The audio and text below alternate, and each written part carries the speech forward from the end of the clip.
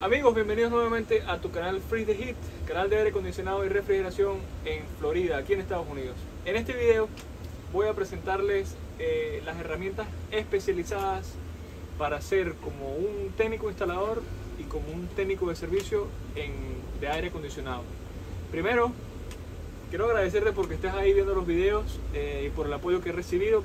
Y segundo, eh, si estás empezando en, este, en esta carrera, en esta profesión, no quiero que te abrumes con este video y veas eh, que son cosas que tengo que comprar demasiadas cosas, que todavía no tengo ninguna, que me va a costar muchísimo dinero.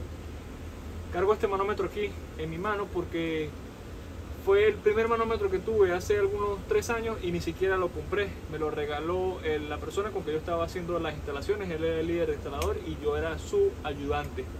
Y a partir de este momento empezó obviamente mi carrera como técnico de aire acondicionado y pueden ver algunos de los resultados en cuanto a herramientas.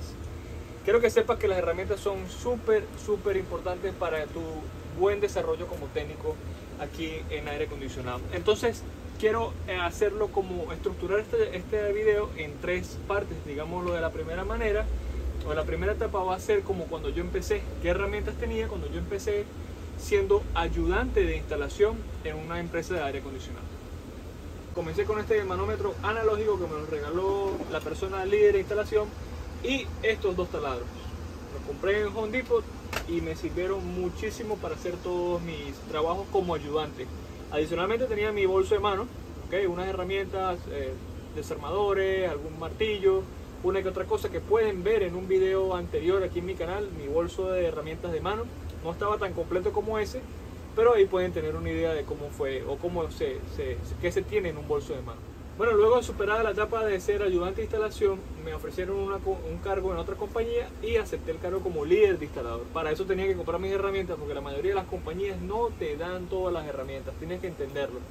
Y es preferible que tú te vayas haciendo cargo de esa responsabilidad de comprar tus herramientas.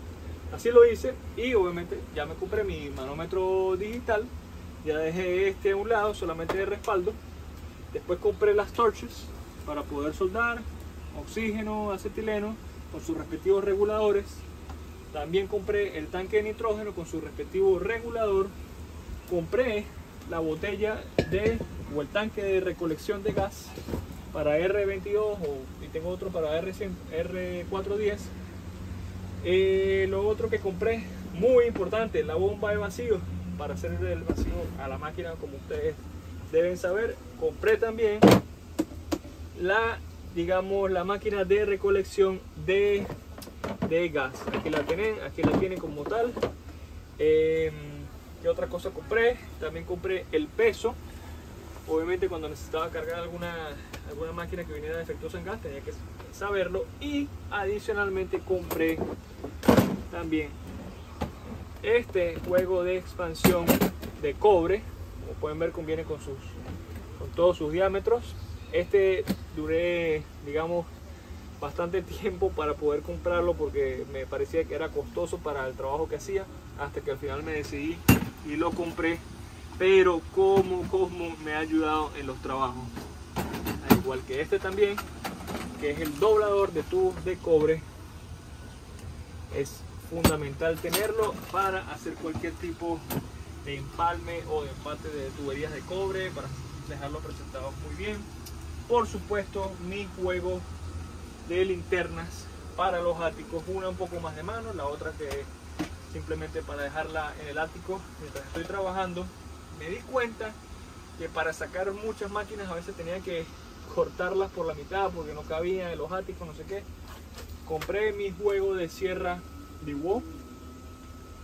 Adicionalmente afuera en la unidad del condensador a veces hay buches, arbustos y uno tiene que cortarlos, alinearlos para poder sacar la máquina bien.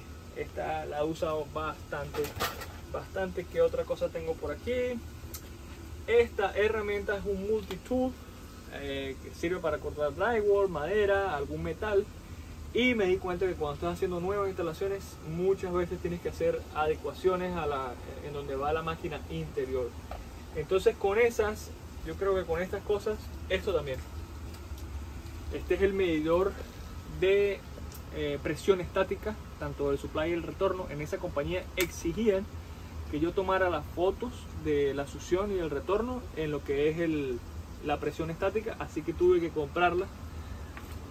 Por supuesto, para hacer mi vacío, también tenía que tener mi medidor de microns, inclusive mi multímetro o mi, mi manómetro, mejor dicho, tiene esa función, pero yo decidí comprar uno adicional para hacer un mejor vacío, ¿ok? Bueno, siguiendo con el video, esta aspiradora, desde que fui líder de instalación, tenía que tenerlas. Miren que cuando hacen instalaciones nuevas, siempre tienen que hacer una buena succión de la línea de drenaje, si no quieren que tengan un callback en 2-3 meses. Así que esta aspiradora es súper importante tenerla, la uso para servicio, la uso para instalación y es vital. Eh, después que ya fui, eh, me cambié de compañía, nuevamente y fui ahora técnico de servicio. Entonces, eh, tenía, ya tenía, digamos, como un 70-80% de todas las herramientas eh, compradas, pero me di cuenta que necesitaba también un lead detector. Aquí tengo el lead detector field piece. Estoy por comprar uno un poco más sofisticado de otra marca. Después quiero hacer un video y enseñarles qué es lo que estoy eh, buscando ahorita en el mercado. El puller para sacarlo el, el el, motor del blower, por supuesto.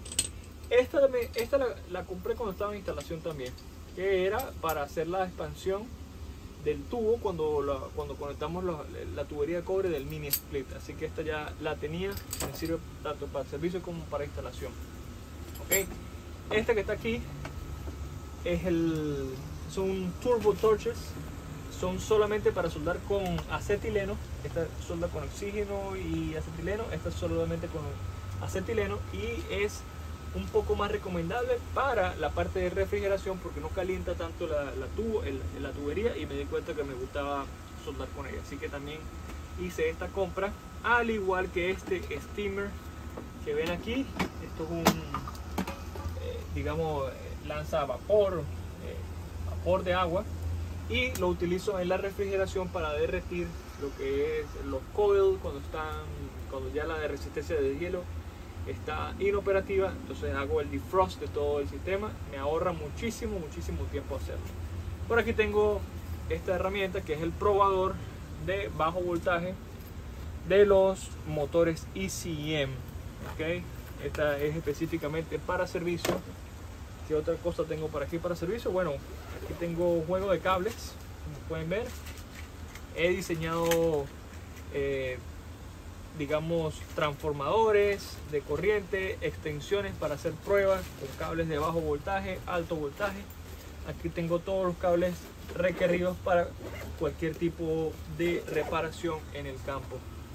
Eh, bueno, finalizando por aquí tenemos bombonas de, gas, digamos, no, no metamos esto como herramientas porque son, digamos, supplies, pero esto sí, eh, son tanques de oxígeno y acetileno de repuesto, igual que tanque de nitrógeno, creo que tengo dos más ya guardados. El nitrógeno me gusta tener por lo menos dos o tres en el, en, el camión, en la van.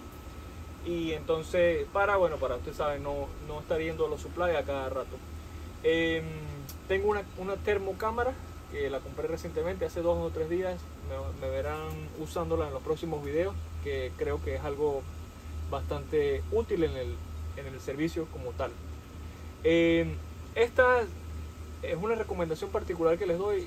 Yo, yo busqué información antes de comprar cada herramienta. Busqué review, le preguntaba a los, a los, técnicos con los que yo trabajaba, a los instaladores, cómo te dio con esta, cómo te dio con aquella, hasta tomar la decisión de comprar la herramienta. Muchas veces cuando vas a una compañía y ellos te dicen, no, nosotros te financiamos la herramienta, no sé qué, ellos te dan la herramienta que ellos quieren. Y entonces después tú dices, bueno, terminé pagando una herramienta que de verdad ni siquiera quería usar o de verdad no me gustaba. Entonces como consejo particular, ahorra para tu herramienta. Si tú quieres esta, esa herramienta, por ejemplo esta, cuando, cuando la iba a comprar eran casi 650 dólares y yo lo pensaba y lo pensaba y lo pensaba. Y, pero bueno, es lo que quiero, es, la que, es como la que yo me visualizo. Ahorré el dinero y la compré. Eh, después que la compras ya se te va el dolor y cuando la usas te sientes muy bien. Em, entonces es una recomendación particular. Ustedes están viendo aquí, con estas herramientas yo he hecho infinidad de trabajos, llamadas de servicio y he podido resolver satisfactoriamente todas. Cada quien tiene su punto de vista, cada quien tiene su opinión, entre Milwaukee, DeWalt, etcétera, etcétera, todos somos diferentes. Yo he aprendido a respetar las herramientas de cada uno, así vengan de China, así no sean de marca. Lo importante es que te hagan el trabajo. Sin embargo, yo se he podido ver que las herramientas que son un poco más costosas y de mayor perfil hacen un trabajo más eficiente y te ayudan, porque al final lo que hacen es ayudarte a resolver el trabajo mucho más fácil y, eficientemente. Eh, amigos, por aquí siempre quedo a la orden como siempre. Cualquier duda, pregunta, a la orden, hago lo humanamente posible para responderles a todos. Espero les haya gustado el video, que les sirva y que te visualices teniendo herramientas así si estás empezando. Muchísimas gracias, nos vemos en un próximo video.